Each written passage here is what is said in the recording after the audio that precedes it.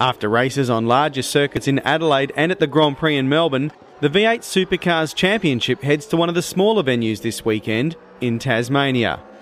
Lee Holdsworth made the switch to Ford in the off season and currently sits sixth in the championship standings. The Irwin racing driver is now comfortable in the new surroundings and keen to make a mark at the Apple Isle. I'm expecting to be on pace all year long. Um, so you know, Tassie, that it's a uh, it's a good track for the team, and um, uh, it'd be nice to get the Irwin car up there and um, fight amongst the, the front runners.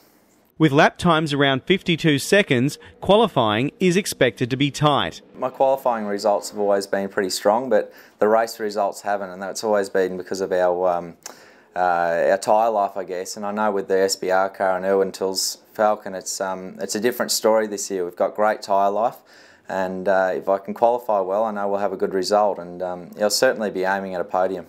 Although Symmons Plains is short, it has one of the tightest corners as well as one of the fastest in the championship. It is a contrast to the opening championship event in Adelaide, and ensuring the car is best set up for all factors will be the responsibility of race engineer Brad Wischusen. Curbs aren't there like uh, we saw at Adelaide, so a um, little bit changes with the damper side of things as well as um, the hard and soft tyre um, rules come into play this time. So um, we did a little bit of soft tyre testing at Sandown, so now we've just got to focus on um, achieving the best setup we can for both, for both uh, compounds of tyre. Crews practice at Symmons Plains from Friday.